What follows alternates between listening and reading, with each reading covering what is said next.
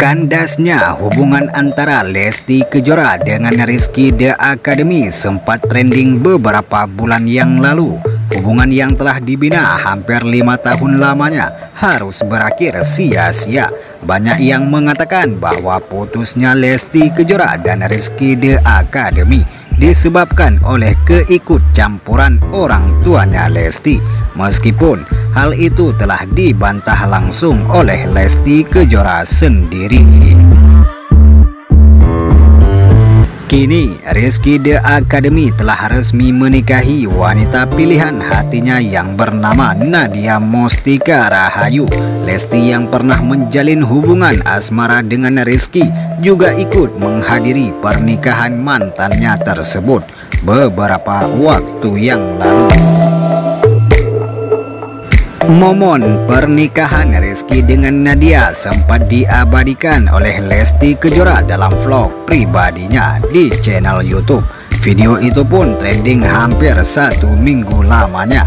Banyak dari komentar netizen dalam video tersebut yang ikut terharu dengan ketegaran hati Lesti. Tak sedikit pula yang ikut memberikan semangat kepada Lesti agar tetap sabar dan ikhlas menerimanya. Meskipun Lesti menyembunyikan rapat-rapat tentang kegelisahan dan kegundahan hatinya karena kehilangan orang yang amat disayang, namun hal tersebut bisa terbaca dari raut wajahnya yang seakan-akan tak percaya bahwa itu bisa terjadi dalam hidupnya. Seiring berjalannya waktu, Lesti Kejora pun dipertemukan dengan seorang pria tampan yang tak asing lagi di telinga kita. Siapa lagi kalau bukan Rizky Billar? Perkenalan mereka bermula dari sebuah acara televisi sebagai bintang tamu.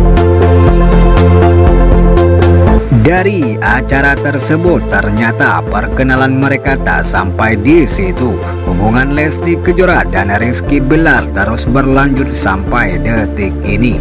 Terlihat keduanya pernah melakukan kerjasama dalam pembuatan konten YouTube. Setelah video YouTube mereka trending, kedekatan mereka menjadi viral. Berangkat dari itu semua, mereka pun kerap dipanggil dalam berbagai acara televisi dan acara lainnya. Tak hanya itu saja, keduanya juga dipercaya memandu beberapa acara televisi seperti tasbih dalam stasiun TV Indosiar. Dan yang terbaru, Lesti Kejora dan Rizky Billar juga dipercaya menjadi bagian dalam acara Hijrah Cinta. Dari pekerjaan tersebut, dipastikan Lesti Kejora akan selalu bertemu dengan Rizky Billar. Itu saja informasinya. Jika ada kesalahan kami minta maaf. Kami akhiri. Assalamualaikum warahmatullahi wabarakatuh.